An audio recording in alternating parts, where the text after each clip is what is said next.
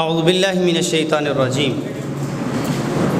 اعوذ، میں پناہ میں آتا ہوں، میں پناہ چاہتا ہوں۔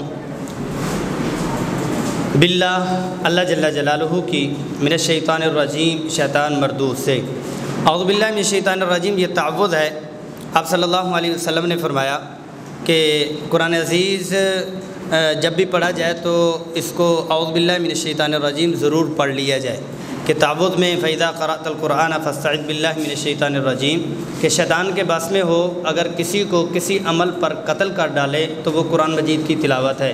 کیونکہ شیطان کو پتہ ہے کہ قرآن عزیز ایک ایسی کتاب ہے، اگر اس کو کسی بندے نے پڑھ لی تو اس کی زندگی میں انقلاب آئے گا، بلکہ اس کی زندگی میں نہیں، وہ قوموں میں انقلاب برپا کر دے گا۔ لہٰذا یہ ہے کہ اس کو اس کتاب سے روک دو، یہ براہ راست اس کتاب سے علم حاصل نہ کرے۔ تو اس لیے اس کو اتنا زیادہ غصہ آتا ہے۔ تو اعوذ باللہ من الشیطان الرجیم، پڑھ لینا چاہیے۔ حدیث شریف میں آتا ہے کہ جو مغرب کے وقت میں اعوذ باللہ من الشیطان الرجیم دس مرتبہ پڑھ لے گا، صبح تک شیطان کے حملوں سے محفوظ رہے گا۔ جو صبح کے وقت پڑھ لے گا، شام تک شیطان کے حملوں سے وہ محفوظ رہے گا۔ بلا لفظ اللہ جو ہے وہ ستائیس سو دو مرتبہ استعمال ہوا ہے۔ من الشیطان الرجیم۔ اور لفظ اللہ کے اوپر، میں اس لیے اس کے اوپر تفصیلی بات نہیں کرنا چاہ رہا، کیونکہ یہ تفصیل اور اس میں آ جاتی ہے۔ صرف ترجمے ترجمے پہ، تاکہ تھوڑے وقت میں ہمارا ترجمہ ہو جائے۔ من الشیطان الرجیم، من کہتے ہیں سے۔ اور یہ قرآن عزیز میں تین ہزار دفعہ استعمال ہوا ہے۔ الشیطان الرجیم، شیطان، شیاطین، ایٹی ایٹ مرتبہ استعمال ہوا ہے۔ الرجیم، دھتکارا ہوا، مردود۔ اعوذ باللہ من الشیطان الرجیم۔ اس میں جو متوقع غلطی ہوتی ہے، وہ بھی آپ کو بتلا دیتا ہوں۔ تو ایک دفعہ میں آپ کے ساتھ پڑھوں گا، تو آپ نے ویسے ہی اونچی آواز میں میرے ساتھ پڑھنا ہے۔ تاکہ ترجمے کے ساتھ ساتھ اس کی ادائیگی بھی درست ہماری ہوتی چلی جائے۔ اس میں یہ ہوتا ہے کہ متوقع غلطی میں یہ ہوتا ہے او زو زو پڑھتے ہیں، زو نہیں ہوتا، زو ہوتا ہے کہ جہاں پر بھی واؤ اور پیش ہوتا ہے، وہاں پر ہونٹوں کو گول کرتے ہیں۔ اور ایک متوقع غلطی یہاں پر یہ ہوتی ہے کہ آؤ زو یہ سختی کے ساتھ، شدت کے ساتھ پڑھتے ہیں، جبکہ اس کو آؤ زو، زال کے ساتھ پڑھا جاتا ہے۔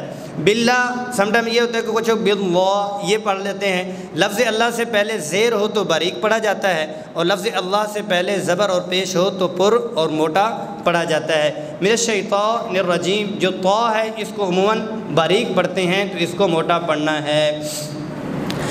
اعوذ باللہ من الشیطان الرجیم۔ میرے ساتھ۔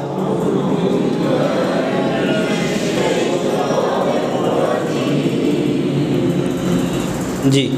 بسم اللہ الرحمن الرحیم۔ بسم اللہ اللہ کے نام کے ساتھ با علیحدہ ہے، جارہ میں سے ہے، شروع کرتا ہوں۔ اسم اللہ کا اسم اسماء یہ انتالیس دفعہ قرآن عزیز میں استعمال ہوا ہے۔ لفظ اللہ، یہ اللہ جل جلالہ کا جو صفاتی ذاتی نام ہے، باقی سارے ہی صفاتی نام ہیں۔ ذاتی نام اور صفاتی نام کا مطلب یہ ہے کہ ایک شخص یا رحمان یا رحیم، یا کریم، یا لطیف، اس سے دعا کر رہا اور ایک آدمی یا اللہ کہہ رہا۔ جتنے بھی صفاتی نام ہیں وہ سارے کے سارے لفظ اللہ میں آ جاتے ہیں۔ لفظ اللہ اللہ جل جلالہ کا ذاتی نام ہے۔ الرحمن بہت ہی مہربان اور الرحیم رحم کرنے والا اور پیار اور شفقت کرنے والا۔ رحمان میں جو رحمت ہے وہ عام ہے اور الرحیم میں جو رحمت ہے وہ خاص ہے۔ یوں کہہ لیں کہ جو رحمان کی رحمت ہے وہ دنیا میں ہے۔ رحیم کی رحمت جو ہے وہ آخرت میں ہے۔ عام ہر ایک کے لیے، کافر کے لیے، مشرق کے لیے، دہریہ کے لیے اللہ کا جو نافرمان ہے، اس کے لیے بھی عام ہے، رحمت اس کو ملی ہوئی ہے۔ الرحیم وہ رحمت خاص مسلمانوں کے لیے قیامت والے دن اللہ جل جلالہ ان کو اپنی رحمت عطا فرمائیں گے۔ پرجوش رحمت کرنے والا ایک سو بیاسی مرتبہ۔ الرحیم ہمیشہ ہمیشہ سے رحم کرنے والا، کریم اور جمیل کے وزن پر مسلسل رحمت کرنے والا، شفقت کرنے والا۔ بسم اللہ الرحمن الرحیم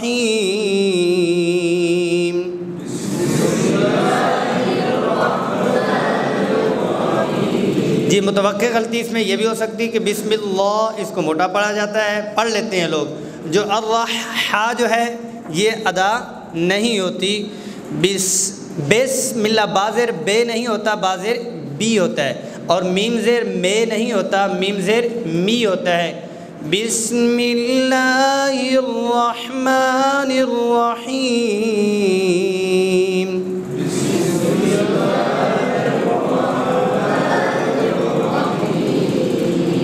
الحمد للہ رب العالمین۔ الحمد۔ الف لام جب بھی عربی زبان میں آتا ہے، دی اور دے جو انگلش میں ہم کہتے ہیں کسی چیز کو معرفہ بنانے کے لیے، خاص کرنے کے لیے الف لام۔ اور یہاں پر ایک تمام تعریفیں اللہ کے لیے۔ تمام تعریفوں کا مطلب یہ ہے کہ دنیا میں جس شکل میں جس کی جو بھی تعریف ہوتی ہے، وہ حقیقتاً اللہ کی تعریف ہوتی ہے۔ اس لیے کہا جاتا ہے کہ تمام تعریفیں اللہ جل جلالہ کی۔ بالفرض ہم یہ کہیں کہ لائٹ میں روشنی بہت ہے۔ تو ہم نے اس لائٹ کی تعریف کی، لیکن حقیقت میں یہ تعریف اللہ کی ہے۔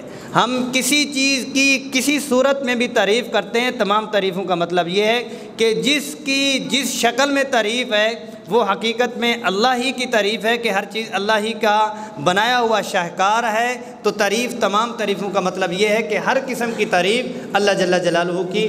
للہ ہی یہ ترجمے میں آتا ہے کہ لام کے نیچے شارٹ کٹ قاعدہ میں بتلا دوں کہ لام کے نیچے جب زیر ہو تو اس کو اس کو کے لیے اور اس لیے کے معنی میں لیا جاتا ہے کے لیے کہ یہ اس کا ہے۔ للہ اللہ جل جلالہ۔ رب العالمین، رب کہتے ہیں پالنے والے کو۔ اور پل پل ذرے ذرے کو پالنے والی ذات جو ہوتی ہے وہ رب ہوتی ہے کہ پرورش کرنے والا، پالنے والا، ذرے ذرے کو پل پل پالنے والا جو ہوتا ہے وہ رب کہا جاتا ہے۔ رب البیت استعمال ہوتا ہے، رب المال استعمال ہوتا ہے کہ یہ گھر کا پالنے والا ہے، یہ مال کا مالک ہے۔ رب العالمین تمام جہانوں کا پل پل اور ذرا ذرا پالنے والی ذات وہ اللہ جل جلالہ کی۔ عالمین تمام جہانوں کا، یہ قرآن عزیز میں اتنی مرتبہ استعمال ہوا ہے۔ الحمد للہ رب العالمین میں جو متوقع غلطی ہے وہ بتا دیتا ہوں۔ الحمد پڑھا جاتا ہے، لوگ پڑھ لیتے ہیں۔ الحمد ہا کے ساتھ پڑھیں گے تو اس کا معنی ہوگا تمام تعریفیں۔ اگر الحمد ہا کے ساتھ پڑھیں گے تو اس کا معنی ہوگا آگ کی گرمی کا ختم ہونا۔ الحمد للہ رب العالمین۔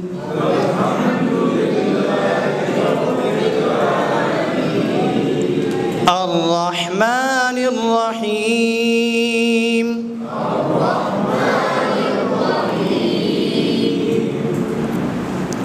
جی الرحمن الرحیم میں، بسم اللہ میں بات ہماری ہو چکی۔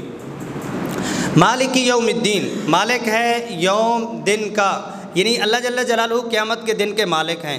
مطلب یہ ہے کہ اب بھی اللہ مالک ہیں، تب بھی اللہ مالک ہوں گے۔ اب یہ ہے کہ مال، ملکیت مجازی اللہ جل جلالہ نے کسی نہ کسی کو دے دی ہے۔ یہ پیپر کس کا ہے؟ جی میرا ہے۔ جی گاڑی کس کی؟ میری۔ گھر کس کا ہے؟ یہ اس کا۔ کوئی نہ کوئی ملکیت کی شکلیں ہیں، لیکن حقیقی طور پر اللہ ہیں۔ لیکن یہ کہ قیامت والے دن آواز ہوگی لیمان الملک اليوم؟ آج بادشاہ کس کی ہے؟ مالک یوم الدین کسی قسم کی کوئی مجازی ملکیت، ایک ذرے کی بھی کسی کی نہیں ہوگی۔ مالک یوم الدین تمام کی تمام ملکیت اللہ پاک واپس لے لیں۔ یوم دن، الدین، بدلے کا دن۔ مالک یوم یوم ایام استعمال ہوتا ہے۔ یوم العید یوم الاکبر یوم الآخرت یہ تین سو ترانوے دفعہ، یہ چار سو پندرہ دفعہ، یہ دونوں آتے۔ الدین، بانوے دفعہ قرآن مجید میں استعمال ہوا۔ ایا کا نعبد و ایا کا نستعین ایا کا ہم تیری ہی عبادت کرتے ہیں اور تجھ ہی سے مدد چاہتے ہیں. ایا علیحدہ ہے، کاف علیحدہ ہے. موقع ملا تو تفصیلی گرامر میں اس پہ بات کریں گے. قرآن عزیز میں چوبیس مرتبہ آیا ہے. نعبد ہم عبادت کرتے ہیں. و ایا کا عابد اور معبود استعمال ہوتا ہے. و ایا کا نستعین اور تجھ ہی سے ہم مدد چاہتے ہیں. یہ جو استعانت، مدد، عون اردو میں استعمال ہوتا ہے، یہ نستعین بھی اسی سے ہے. پھر آگے آپ کو بتائیں گے کہ نون کا استعمال جو ہے وہ کیسے ہوتا ہے؟ جیسے کہ آبودو ایک مفرد کے لیے ہوتا ہے، نون جب آ جاتا ہے، گرامر کی یہ بات ہے نا ہم آپ ہی کی عبادت کرتے ہیں۔ تو اس میں ایک تربیت بھی ہماری کر دی گئی ہے کہ پہلے اللہ کی عبادت اور بندگی ہے، پھر اللہ سے اپنے مسائل کی مدد اور اپنے مسائل کی استعانت اور معاونت ہے۔ لیکن یہ ہے کہ ہمارا قاعدہ الٹ ہے۔ ہم کہتے ہیں، پہلے میرے مسائل ختم ہو جائیں اور میں خوشحال ہو جاؤں۔ تو پھر بہت بہت بڑا بزرگ بن جاؤں گا۔ پھر اللہ کے راستے میں نکلا بھی جاؤں گا۔ پھر یہ ہے کہ مسجد میں میں ڈیرے لگا دوں گا، لیکن پہلے میرے مسائل حل ہوں۔ لیکن قاعدہ کیا ہے کہ ایا کا نعبدو، کہ پہلے ہم عبادت کرتے ہیں اور آپ ہی کی کرتے ہیں، کسی صورت میں کسی کی کوئی عبادت نہیں کرتے اور مدد میں امید ہر قسم کی آپ ہی سے لگاتے ہیں۔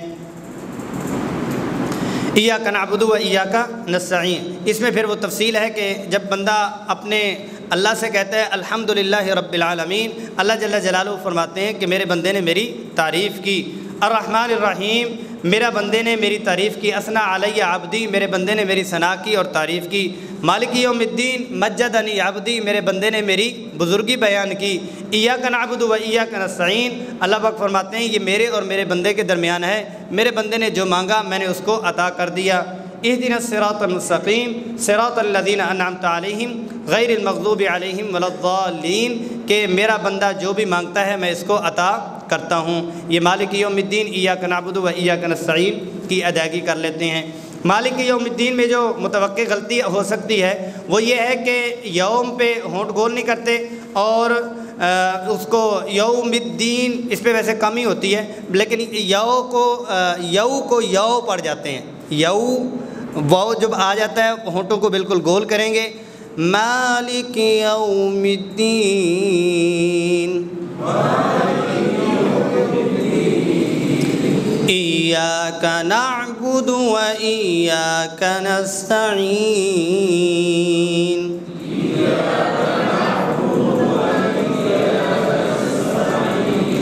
جی نعبدو، ایک تو یہ کہ ہونٹ گول نہیں کیے جاتے، ایک یہ ہے کہ دال کو لمبا لوگ پڑھ جاتے ہیں۔ ایاک نعبدو و ایاک نستعین، یہ والا نہیں ہونا چاہیے۔ نعبدو و ایاک نستعین۔ يا سعد من سمع الحديث بقلبه نال النظرة ذاك خير المغنم آل النجاح جوزيتم عن جمعنا. رأي الإله بجنات وتنعم